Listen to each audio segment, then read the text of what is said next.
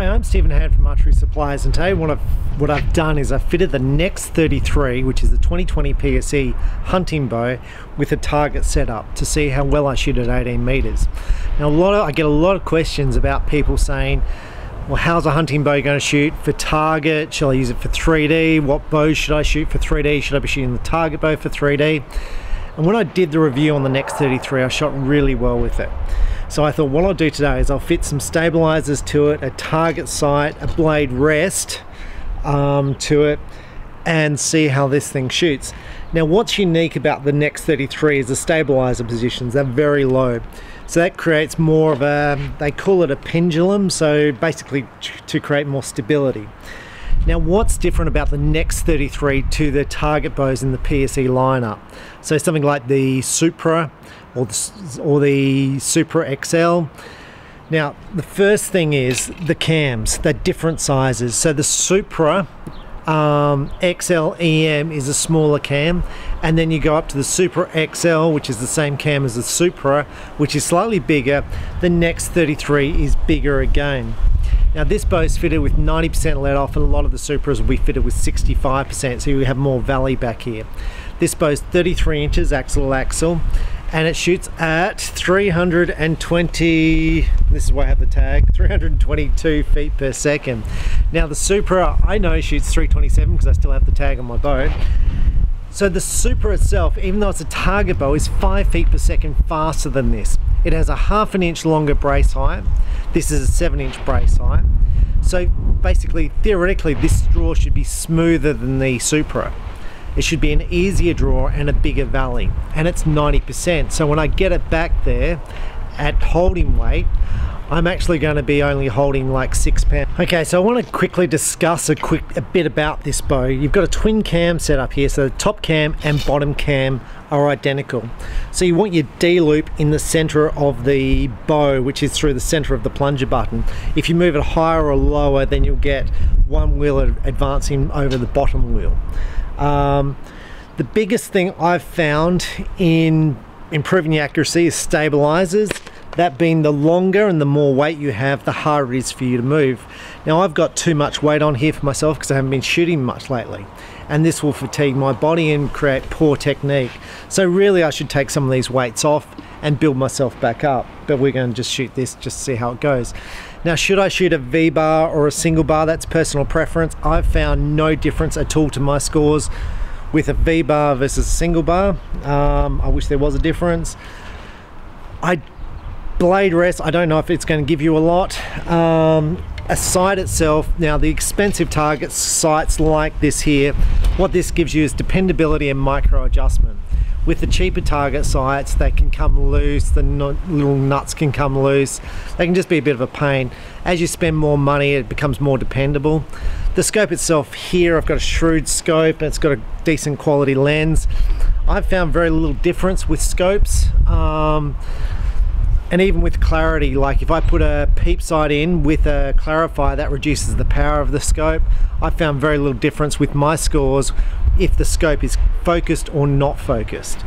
So I've got a six times fitted here um, so it actually looks bigger than I normally shoot with my target setup because I have a clarifier in there. So this this target's going to look a lot bigger. Now I fitted no um, peep sight to this because ideally I would in my target setup I would fit a peep sight and I'd line up the peep sight with the front sight but I don't think it's going to create much difference in my shootability with this. Um, now other things I'd probably try with this bow for targets shooting and for 3D I would probably try the lower let off percent low let off um, modules um, and I would try it with and without the grip which you can take off. Um, for this purpose I'm just going to shoot it with the grip. Um, because I'm interested to see how well I shoot. Now, I'm going to say today is a really blistering hot day. It's 40 degrees and I shot this morning and I buggered this shoulder. Um, actually pulling the arrows out of the target. It really hurts. So we'll see how it goes. Now this is 90% let off. I've wound the bow down from 60 to probably 56 to make it easier to pull back so it doesn't hurt my shoulder less. Now arrows are really important to get yourself a decent quality set of arrows. They don't need to cost a fortune. Um, I'm just using the Victory VAPs. And yes, I've tried other arrows and they shoot fine. I've just got a whole pile of these, so I'm just using them. These arrows are, I think, over two years old now. Um, so the rest is about $40. So let's kind of see how well I shoot.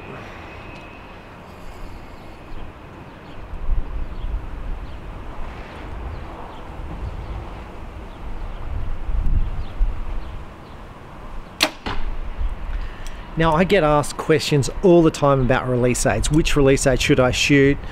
Should I shoot back tension? Should I shoot thumb? Should I shoot wrist? I'm going to say there's very little difference in release aids. It's more about mental and I'm shooting a back tension here so it's a hinge to set it off. Sometimes hinges are good and really good for training because you're not thinking about punching the button, you're thinking about just the shot technique. If it's windy then it's probably better to shoot a button because sometimes it's really hard to get the shot off. Um, but I find this is really good for just focusing on aiming.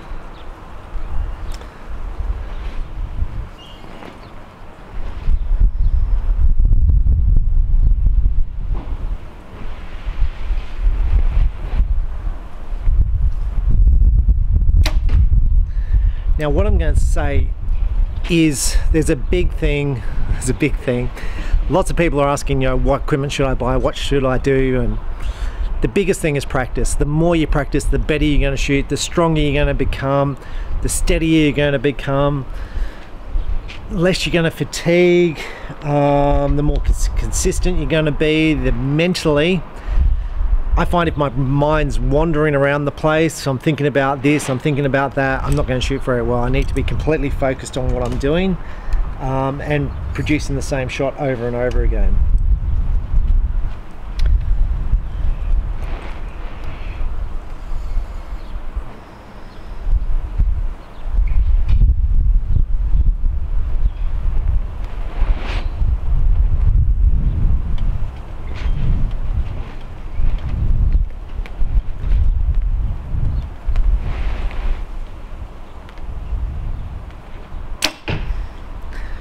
Now there's a fair, I say there's a fair bit of wind, I was actually moving around a fair bit then. I probably should have let down. I don't know where the arrow went. I probably should have let down because my sight pin was moving between the gold and the 8. Um, actually moved out to the right of the 8. Um, you've got so many seconds to get the shot off before you start to fatigue and you've basically lost all your oxygen. So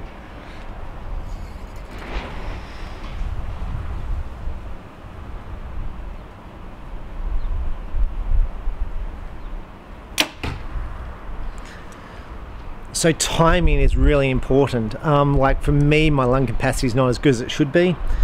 Um, whether you say that's because of asthma or I'm not doing enough cardio, cardio will improve your lung capacity. Um, but for me, this review is more about can I shoot this bow for target, how well I would shoot it, how it compares to the two bows like the Supra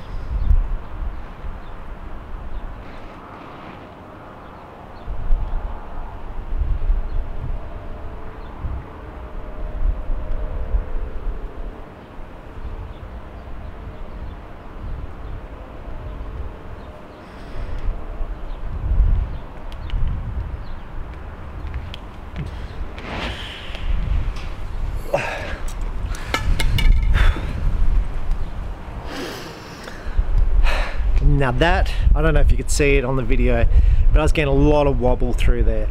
And that's the weight of the bow. Basically, I'm having trouble after a few seconds with the weight of the bow because of the weights on the stabilizer.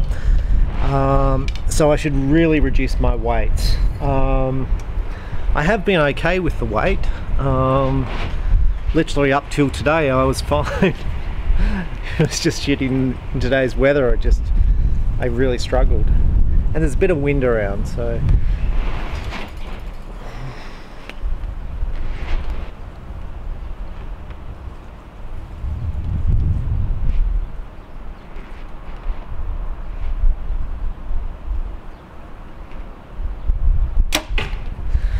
Now that's going to get me to the question about 90% let off versus 60% let off. There's a whole bunch of shooters who prefer one, like 90, and there's a whole bunch of shooters who prefer 60. And people have won with both. Um, my personal view is um, I find the 60% let off better in the wind. I find it creates a better release. Um, my hand comes back better, creates better technique. However, 90% let off and higher percent let offs, if you don't have the strength, are easy to shoot because you're not fatiguing. Um, so, but I find I get better technique with less let off. And back in the old days, back in the old days when people used to have round wool bows, they used to come 60% and 50%. A lot of people would shoot 50%, 50% let off.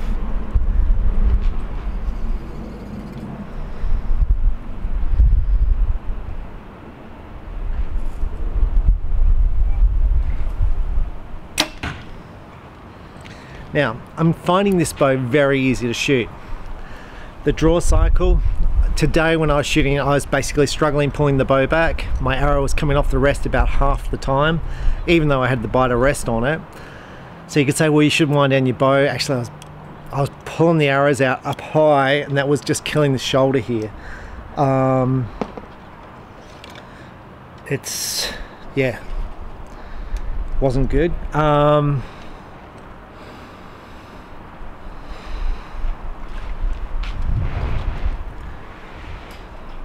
But yes, I should have wound the bow down, but I didn't have my Allen keys.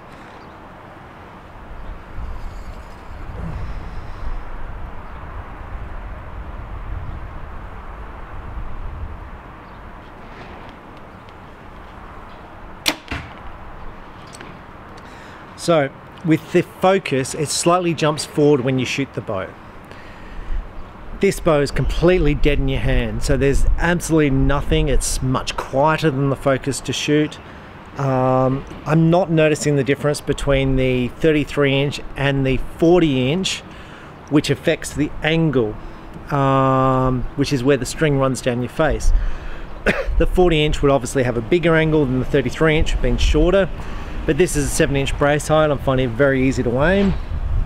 Um, the stabilizers down low I like. Um, seems to be really balanced. Um,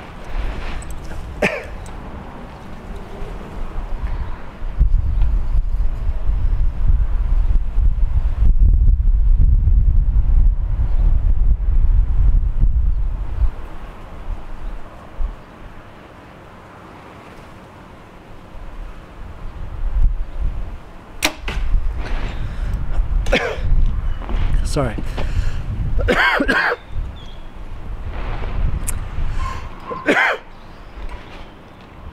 I feel like I'm having trouble getting the shot off, um, which I felt today when I shot the competition. Um, like my score was alright, I just felt like I was shooting not very well. Um, so So I had one of those days where I was actually on a couple of points off what I, you know, off, off my best score, but I just felt, it just felt terrible the whole day. I was like shaking around and the arrows were just landing in the middle most of the time. And I was like,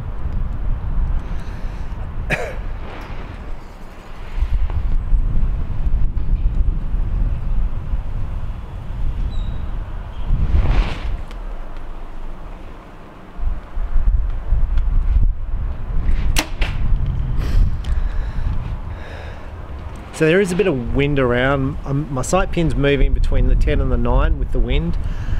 Um, but I'm finding this just as easy, maybe easier to shoot than the focus. And I found I was getting my best results with the focus.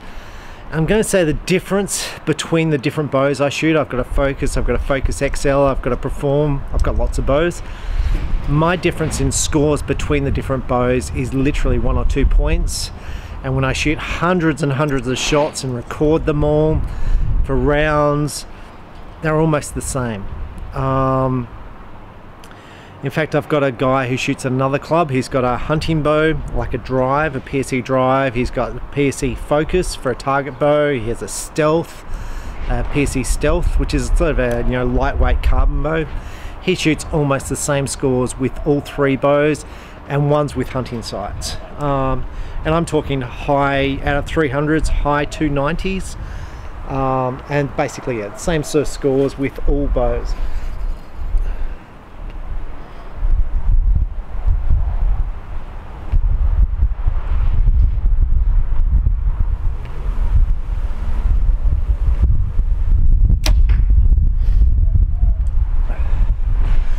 We'll just shoot one more and we'll go down and see where they are.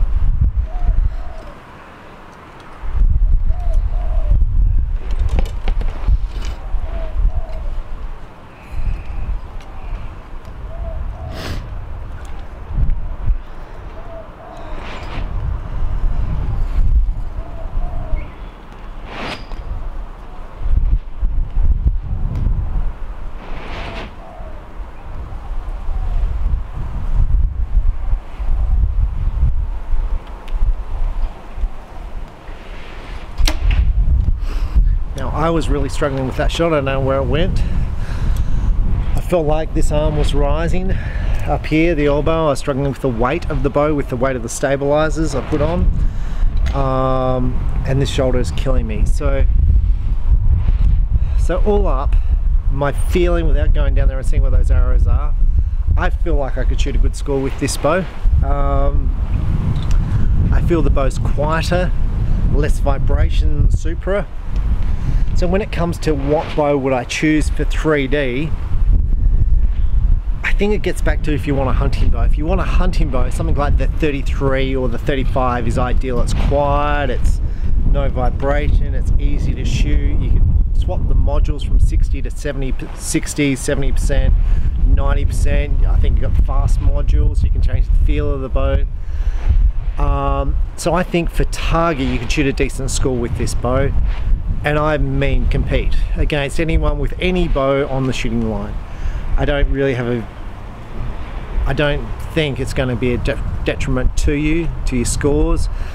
Um, if you're mainly a target shooter, as far as look, I'm going to shoot 3D, I'm going to shoot um, mainly shooting spots, I'm not going to hunt, then I would raise the question whether the target bow would be better for you from the fact that it may be better as far as accuracy compared to the 33 because it's got a bigger brace height, bigger axle axle.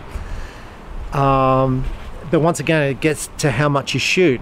Um, if you're shooting not a lot, you may find the 33 or the 35 easier to shoot because of that high let off, because there's no vibration when you shoot the bow. Um, but I'm going to say it's very hard when choosing a bow, even just in that one manufacturer. If you're going to buy a PSE, you've got all these bows to choose from. You know, you got the Supra, you got Supra XL, you've got the Supra XL long draw, you've got the forms, you've got the NXT 35s, you've got the NXT 33. Which bow am I going to choose? And then it becomes even harder when you add all the other brands into it. I'm going to say there's very little difference. So your best bet's to get go and try them and see which one you prefer and let's go down there and so see where these arrows landed so I can get a feel for how I shot. So I'm up here at the target, you can see my group, besides that 1.8, there's 1.9. Um, the group's pretty, like, pretty good. I'm going to say I'm, I shot better with that than I would with the Focus. Um, my scores with the Focus um, in the past week have varied anywhere from a 297 out of 300 down to a 292, 293, probably averaging around 295. That this group is clearly that, um, probably better than the Focus. Um, and my shoulders absolutely not great. Um, I don't have a peep sight in the string um, which would help because the string gets in the vision of the scope. Um, but it's not going to give me a lot which is what I thought before I did this video. And I was sort of toyed up should I put a peep sight in or shouldn't, shouldn't I? So just based on that that's 18 meters. Um, that's a pretty tight group a lot of those arrows are really tight. Um, so yeah so I think that kind of gets to where I wanted it to get to um, and basically I didn't this is, you can see it's a clean target before I started, so it wasn't like shoot, shoot, shoot before I filmed this. Um, basically I shot six arrows before sighting this bow as I normally do in my videos. Sighted the bow in, changed the scope to the left, um, got the height right, which was about six arrows. Um, that's a good group. Um, so I think the things I want to take from this group, from this video is weight on your stabilizer. Don't put more weight on than you need. Um, if you can't, if you're struggling to hold it, I was definitely struggling to hold it. And there was a bit of wind around, so today it's not ideal. It's very, very hot. Um, I reduced the weight of this of the draw cycle because of my shoulder. I'm down to about 56. I'm guessing for that. Um, but I shot really, really well, and that's the NXT 33 from PSE. Um, hope that's been helpful for you. Um, the more you shoot, the better you shoot. There's just no there's no alternative um, than shooting arrows. If you're going to shoot more arrows than the person next to you, you're probably going to be a better shot than the person next to you. I'm Stephen Hand from Archery Supplies. I hope that's been helpful. Thanks for watching. Bye.